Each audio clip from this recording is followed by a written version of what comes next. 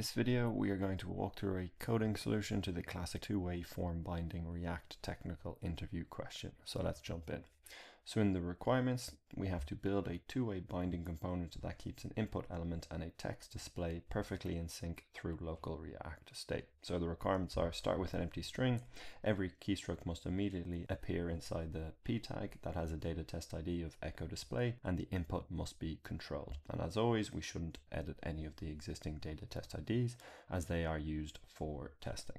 So if we go into solution mode and we come across here, we can see here, if I type tech prep, essentially it's, it's a controlled input and as soon as we type, we should see it echoed below it like so. So I've just hopped out of solution mode and now when I type as you can see, it's an uncontrolled component, so the text will still appear in the input. However, we will not have that echoing in the p tag below it. So let's jump into the code now. So as always, in our app.js, we have some basic Tailwind styling, and then we're rendering the two-way binding component. So then if we go into the two-way binding component, you can see here, we have a H1 that displays two-way binding. Then we have the input here, which has the data test ID echo input. Again, it has some styling and a placeholder, but again, it's uncontrolled. And then we have a p tag here with the data test ID of echo display and some class names and it's rendering nothing. So I think the first thing we need to do is add some state. So I can say const text set text equals use state. And again, we will have an initial value of an empty string and we will simply import that from React like so.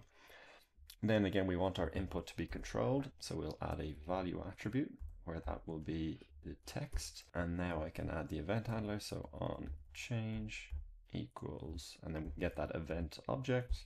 And then we can call the set text function and we can pass in the e dot target dot value. And then over here, so it's now controlled. So it should just type normally and it does perfect. So the next thing we need to do is then simply render it below as well. So if we go down here, we've got our echo display and inside the p tag here, we can simply render that text. So if I bring it across here, you can now see it is being echoed in that part below. So let's run the tests and see if they pass. Perfect, the test pass. Let's run the test suite and see if all tests pass. Perfect, all the tests pass.